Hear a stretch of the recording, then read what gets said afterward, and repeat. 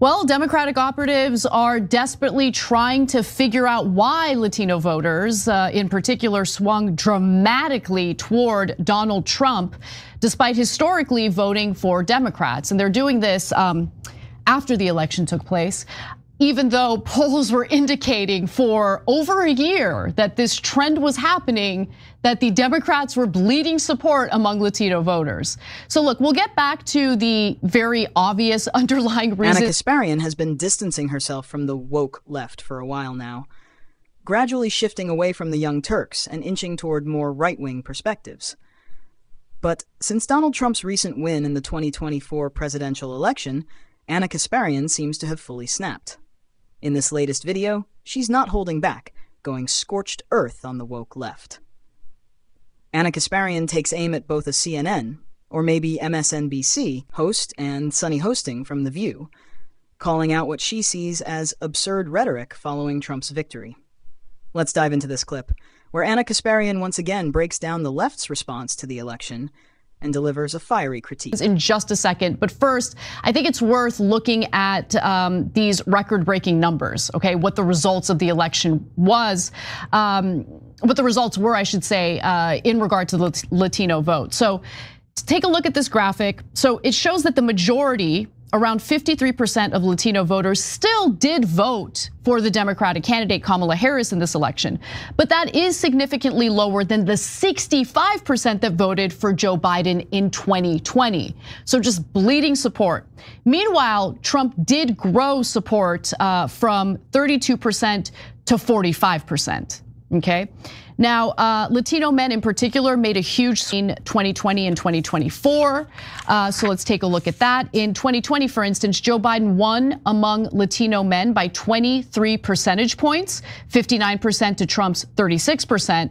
Fast forward to 2024, and Trump won the Latino uh, Latino men by about 10 points, 54% uh, to Kamala Harris's 44%.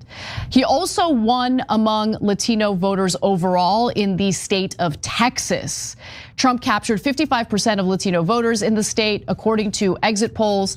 He also won 14 out of the 18 counties within 20 miles of the border, a number that doubled his 2020 performance in the Latino majority region. So, why the huge swing? What's going on? Well, some people, like Sunny Hostin and uh, radio host Victor Martinez, think that it has to do with identity. Let's take a look. Latinos in Texas, a, dis, a, district that's 97% Latino, went 75 percentage points for Donald Trump. Why? Misogyny. The, no, that's it's why. on the border. It's the misogyny. border crisis is on their doorstep. So, so, and they were begging people to care about it for years. We need to take some less. That's what that was. And I will dare to say that is the Latino man who will who, who wouldn't want a woman president. I mean, you and I had this discussion before, um, and I have audios from um, Latino men who were calling calling my show telling me that they wouldn't vote for her just because she was a woman. Um, and that is unfortunately, but that's part of the Latino culture, right? Where the, the Latino, the man is the one, the, the provider. If you're enjoying this type of content, please like and subscribe. It really helps. Now let's get back to the video. Uh, Martinez has no idea what he's talking about. Uh, some inconvenient facts for him. Uh, for instance, the fact that in 2016, Hillary Clinton won Latino men by a 31 point margin. Game over already, but wait till you see more.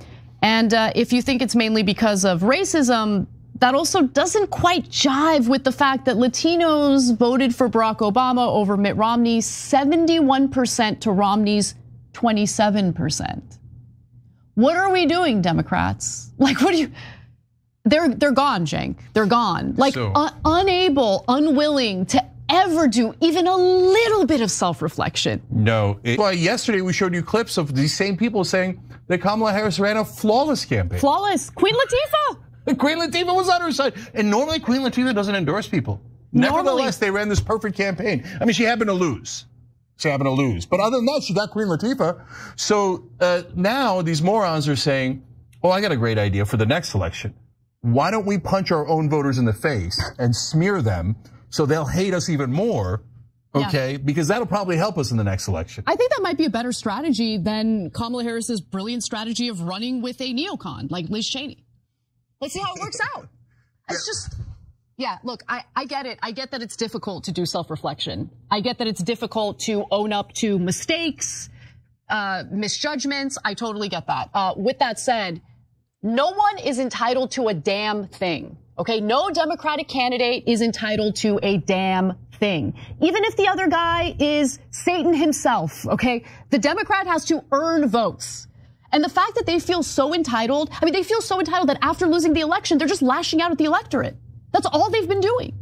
That is literally all I've seen from the Democratic Party. It's crazy.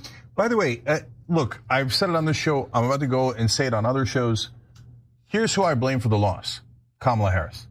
Isn't that weird that almost no one on TV is saying that? Like literally saying the words out loud, Kamala Harris is at fault.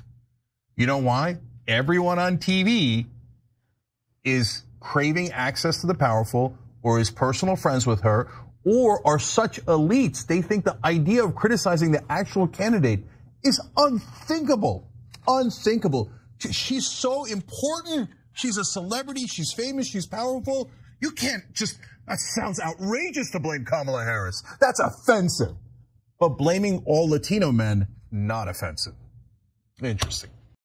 The idea that Kamala Harris lost simply because she's a woman doesn't hold up. Historically, most societies, regardless of culture, have been led by male leaders. This isn't unique to Latino culture or any specific group. It's been a common feature across many civilizations, often by design. However, it's important to point out that Kamala Harris's loss doesn't come down to her gender. Her policies, public image, and overall performance were much bigger factors in the election result. There's also a sense of contradiction in how some Democratic narratives are playing out. The party often promotes itself as the voice of individual freedoms, especially around my body, my choice issues, yet also sends a message that people should vote a certain way based on race, gender, or identity. This approach may end up alienating parts of their voter base, especially if they continue to label those who didn't support Harris as racist or sexist. If Democrats don't adjust their messaging or strategies, it could create more disconnects within their base. It'll be interesting to see if they rethink their approach in the next few years. So, what are your thoughts? Has the left missed the mark with these narratives? Let me know in the comments, and if you're enjoying this breakdown, please like and subscribe.